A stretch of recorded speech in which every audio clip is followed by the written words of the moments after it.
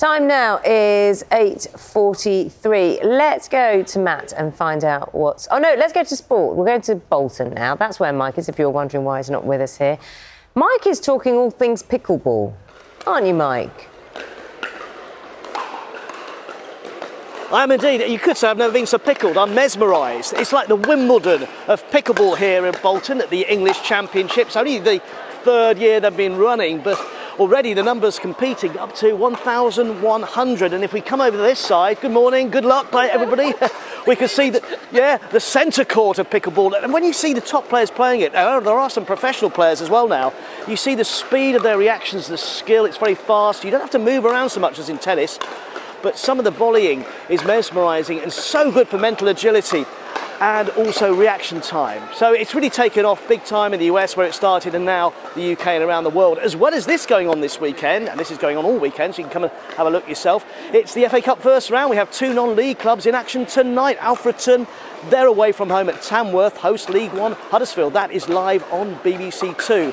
But tomorrow we'll see the lowest ranked team left in the competition in action. It's Hednesford Town taking on Gainsborough Trinity. Now Hednesford play way down the eighth tier of English football. And their story, well, it's a former mining town, but they have struck FA Cup gold. Yeah! There he is, Pitman Paul. Look out for him on Match of the Day. There'll be highlights of all the FA Cup games over the weekend. Back here, if you do want to take up pickleball, at least give it a go. It's very easy to get started in. There are nearly 400 clubs up and down the UK. It's also played now in a lot of schools because you can see you don't need much equipment. They can put down the tape in a school hall, set up a net, and away they go with a couple of paddle bats and balls. But when you see it played by the top players, you realise how good and how long it can take to get to the top level and play. Oh, they're actually stopped, typical timing. They're having an amazing rally a minute ago, but you see what it can take to actually master this game, much more difficult. Those guys who started it in America in 1965 have certainly created something worldwide now, something special, all named apparently after their dog, Pickles.